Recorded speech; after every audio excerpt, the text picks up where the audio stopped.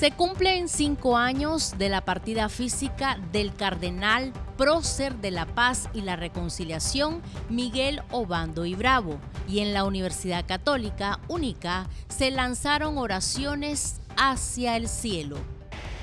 Se sembró una semillita que como grano de mostaza fue creciendo en su corazón para poder responder a un llamado,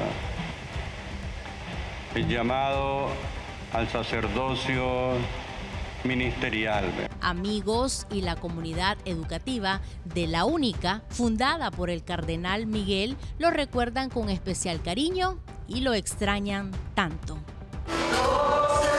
Celebramos una vida que, como dice la escritura, dio fruto. El grano murió y dio fruto en abundancia en los estudiantes y en esta comunidad universitaria que hoy celebramos ese legado. Un gran hombre, un gran pastor que supo guiar a su pueblo en todas las vicisitudes que se presentaron.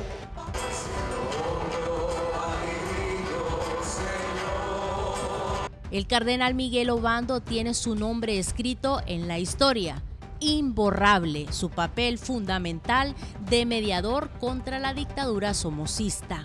Lo recordamos también como nicaragüense, una persona de paz, una persona que siempre buscó la reconciliación, eh, que siempre predicaba amor y perdón.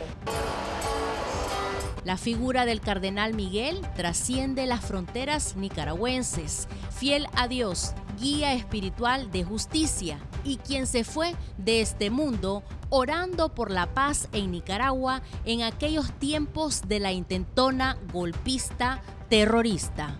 Ana en Castillo, Noticiero 51.